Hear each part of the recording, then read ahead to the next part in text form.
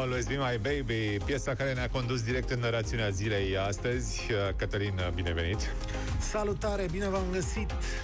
Ai scris și tu acolo, unde scrii tu de obicei uh, la GSP, să pariem pe șerif aseară, că uite, e ne îmbogățeam de, astăzi. Era de pariat pentru că cine are pasiuni din astea ar fi putut să vadă că uh, Real Madrid face des surprize din astea, adică, mă rog, des, ținând cont de statura clubului. I s-a mai întâmplat A, cu ai noștri nu se întâmplă niciodată.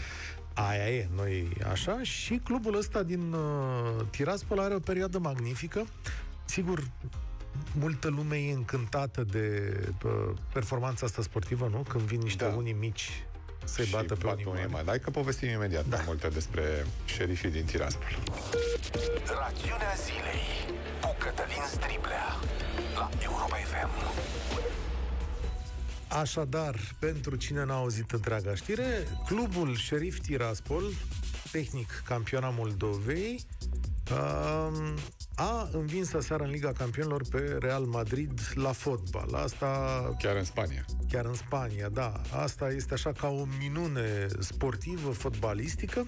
Sigur, una care stârnește entuziasm, lumea se bucură, se bucură întotdeauna când vine vorba că unii mici bat pe ea mari, care înving întotdeauna și că este o bucurie sportivă, așa, nu? Da, bă, E o bucurie și o surpriză. Și o surpriză, Mai avem da. nevoie și de surprize de genul ăsta Sigur că da, că... și uh, altă lume zice, da, domnule, din Moldova e oarecare afinitate, aici nu prea e, știi? Și la primul subiect am, și la prima observație am așa niște nuanțe. Cred că ar merita cu toții să vedem dincolo de performanța sportivă remarcabilă Aici nu avem ce comenta. Nu avem ce comenta, o performanță sportivă remarcabilă. Cum și pe ce se clătește această performanță sportivă remarcabilă? Pentru că asta merită să știe cât mai multă lume.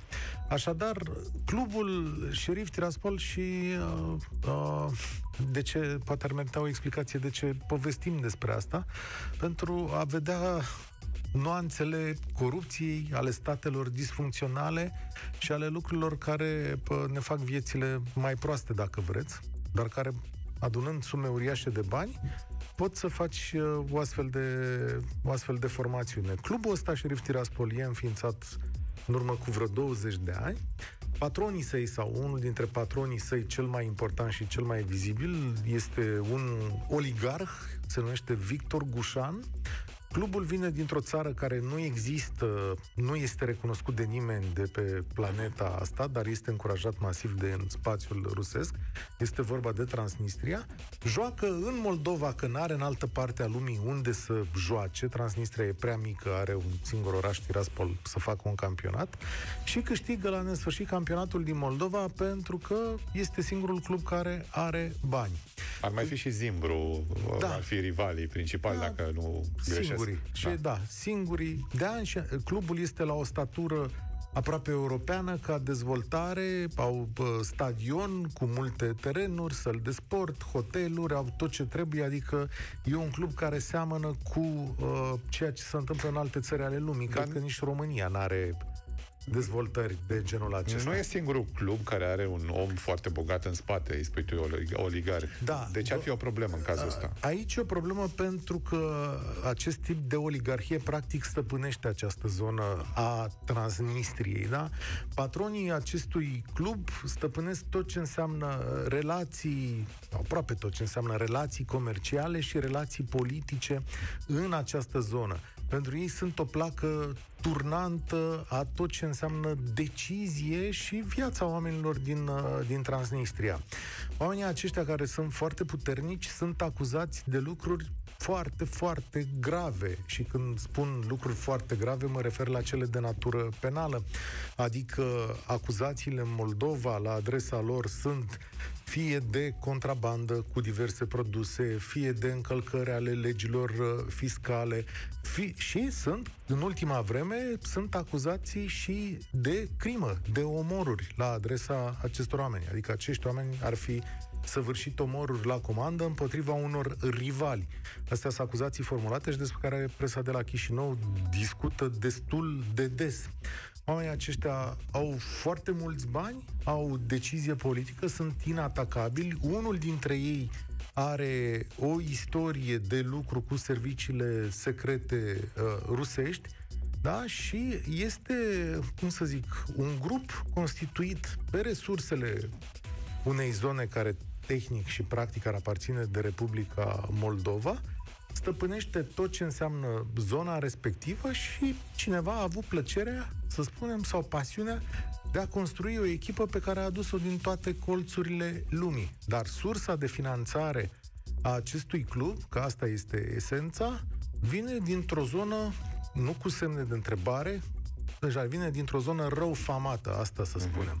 Adică nu este genul de afacere corectă, onestă, fair play, față de restul, uh, față de restul lumii. Cred că zona e principala problemă, pentru că așa scandalul financiar să fim serioși și în Italia, ah, dacă ne aducem evident, aminte mod evident, ce s-a întâmplat da. acolo. Este o încrengătură politico-economică, cum găsești doar în spațiul rusesc, da? în care oameni foarte bogați și cu mare neatenție la lege, să zicem așa, pot să, pot să construiască și fără o intervenție a unor organisme statale care să-i împiedice în a face diverse lucruri. Averea cu care să plătești un asemenea tip de instituție sportivă nu se clădește cu foarte mare ușurință, iar în acest caz se construiește mai mult din uh, semne de întrebare. Altfel, uite, revenind strict la fotbal, au reușit să construiască o echipă cât se poate de competitivă și la noi în țară sunt oameni cu foarte mulți bani care au investit foarte mult în fotbal, însă rezultatele nu au fost neapărat uh, pe uh, măsura așteptărilor din diferite cauze, orgolii și alte... Cred că mare uh, parte din merit îi se datorează antrenorului acestei uh, echipe, care se numește Yuri Vernidub, da, omul acesta este ucrainian de origine, a antrenat și în Ucraina, are 55 uh, de ani și a antrenat în Ucraina prelând o echipă de la retrogradare pe care încetul cu încetul uh, a dus-o în, uh, în topul ligii ucrainiene.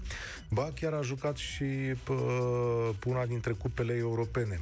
E un om priceput la nivelul acesta și care aici își împlinește cariera sportivă. Adică lui s-a pus la dispoziție un grup de jucători sau și-a ales un grup de jucători din diverse țări exotice cu care reușește să facă anumite uh, lucruri de o natură pe care noi n-am mai văzut-o.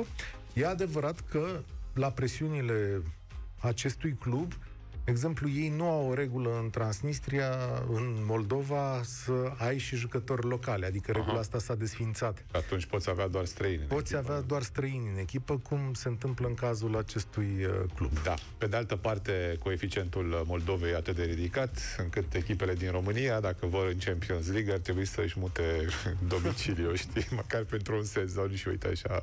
Din punct de vedere sportiv, ceea ce se întâmplă acolo e o lecție, pentru că sunt cheltuiți cheltuiți niște bani, nu ne dăm seama de bugetul acestui club, adică el poate să fie până la cer, dar bani mulți s-au construit, s-au făcut și în România. Adică Ce, a existat da. posibilitatea asta și în România, culmea este că noi am avut o afacere pă, onestă, adică sunt cluburi de fotbal care au făcut bani mulți din fotbal, din Liga Campionilor, la nivelul milioanelor de euro și n-au știut sau n-au vrut să răstogolească bila asta mai departe.